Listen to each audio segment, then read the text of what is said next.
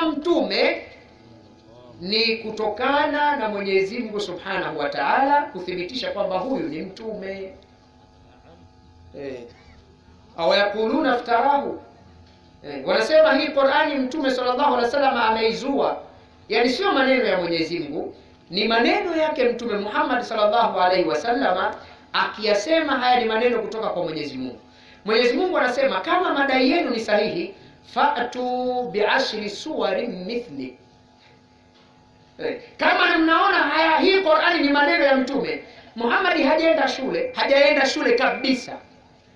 Sasa nakupunguzieni kwa sababu kwenye Al-Baqara Mwenyezi Mungu anasema fa'tu bisuratin min mithli in kuntum sadiqin, basi msilete sura kumi, leteni sura moja tu mfano wa Qur'ani, in kuntum sadiqina kama nyinyi mnasema kweli hii Qur'ani ni maneno ya Muhammadi na siyo maneno ya Mwenyezi Mungu. Mtume hakwenda shule, lakini moja katika miujiza ya Qur'ani ni kupangwa Qur'ani katika muujiza wa namba. Muujiza huo wa namba hawezi kuupanga kwa utaratibu huo ila msomi wa masomo ya hesabu, na itamchukua miaka mingi sana kuipanga Qur'ani kwa mfumo wa hesabu ilivyopangwa Qur'ani. Nitakupa mifano miwili, haikuwa mada. Mfano wa kwanza, mfano wa kwanza wanasema ipo sura inaitwa surati Shura na kuna sura inaitwa surati Qaf.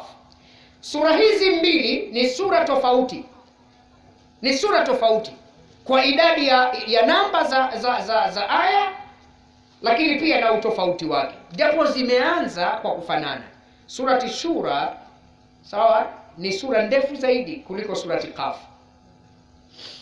Katika surati Shura ukizichukua herufi qaf qaf, na katika surati Qaf ukizihesabu zile kafu zilizopo kwenye sura hizi mbili unapata unapata herufi 57.